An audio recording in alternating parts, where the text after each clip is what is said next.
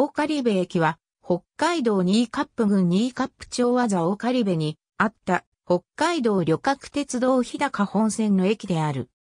電報略号は折り、1978年の大狩部駅と周囲約500メートル範囲、右下が静内方面。国土交通省国土画像情報をもとに作成所在地名より命名された。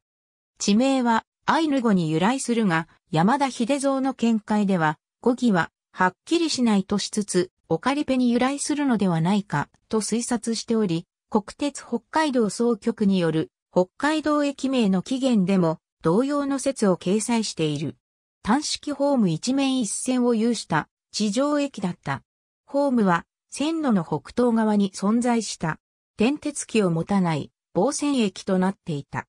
静内駅が管理していた開業時からの無人駅で駅舎はないがホームから少し離れた位置に待合所を有していた。コンクリートブロックを積み重ねただけの扉及び窓のない人は数人しか入れない建物であった。トイレは工事現場用の仮設便所となっていた。ホームは海のすぐそばにあり、崖の中腹に張り付いたような形状となっていた。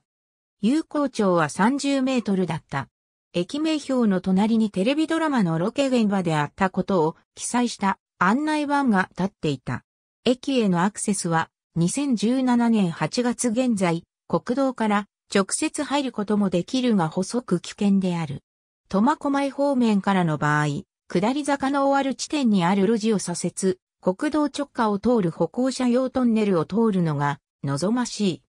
付近は海風が大変に強く、それを防ぐために線路際に木の杭とハイタイヤで支えられた木塀が作られていた。1日上皇人員は以下の通りである。また、JR 北海道によると、各調査日における乗車人員及び乗降人員平均は以下の通りである。海岸線の丘陵地帯の高台に位置し、ホームからは太平洋沿岸が望める。線路の路盤は侵食されやすく、落石なども発生する。2018年11月の時点で、大狩部駅の所在地から離れた集落の付近に、列車代行バスの乗降場所、大狩部高台が設けられている。なお、2020年現在、JR 北海道のホームページに、この乗降場所についての記載はなく、ホームページに掲載されている時刻表にも、この乗降場所の記載はない。ホームに案内板の立っている、ロケーションを行ったテレビドラマは、女囚兵の中の女たち、TBS 系列、主演、泉ピン子である。JR 北海道北海道運輸局。ありがとうございます。